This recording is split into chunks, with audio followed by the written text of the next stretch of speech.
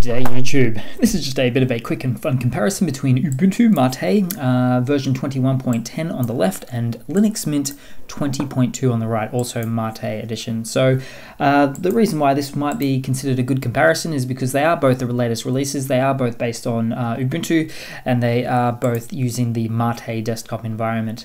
But that is uh, seemingly where the, the similarities may end because as you can see here, we uh, have a bit of a different look and feel.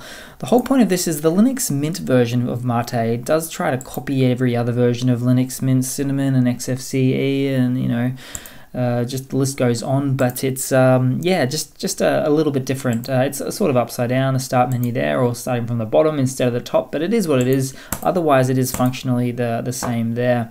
You've only got the one bar on the uh, on the Linux Mint side of things, whereas uh, the the stock Mate desktop environment is what you could say is actually is being used for Ubuntu there. So it's pretty interesting there in my feels.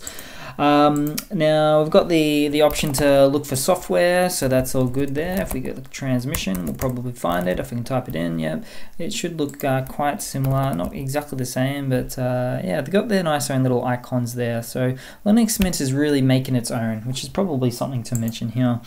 Uh, in terms of the file managers, we will be dealing with the same type, but uh, let's just load this up, can't hurt. It is uh, the Caja file manager, which is totally synonymous with uh, the, the Mate desktop environment environment there. So you'll find that all the time. Uh, if we have a little bit of a look under the hood, uh, let's see what we can find there. So I'm going to have to load up a few little bits and pieces here, but uh, let's see. Here we go. So it hurts me a little bit here, but you've got a much later and greater kernel on the Mate side of things, whereas, whereas you are dealing with the older 5.4 kernel on Linux Mint. Reason for this is, although it is based on Ubuntu, it's based on an older long-term service release. This can be changed, uh, but uh, it, it is what it is out of the box. So if you get Linux Mint, you're probably going to stick with this and not try to screw up the kernels and download a new one and cause potential issues there.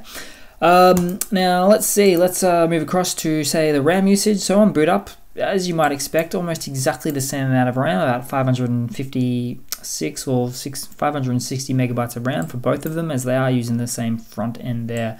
Surprisingly, Linux Mint is using an older kernel, but it is using just a couple more megabytes of RAM, so that's kind of funny, and just something to interestingly note there.